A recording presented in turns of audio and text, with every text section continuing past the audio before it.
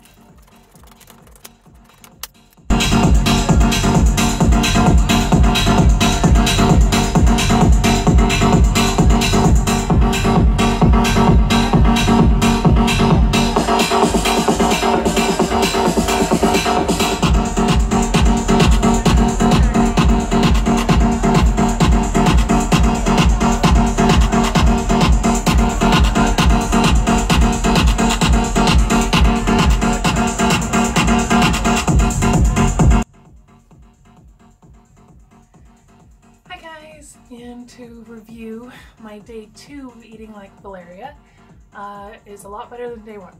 Uh, no headaches, um, a lot more protein in my meals uh, today, so I think uh, that had a lot to do with it.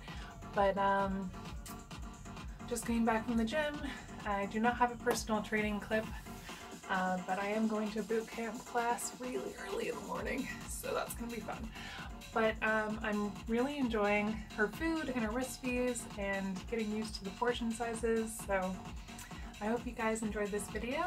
I loved the food. So uh, I will see you guys next time in my next video.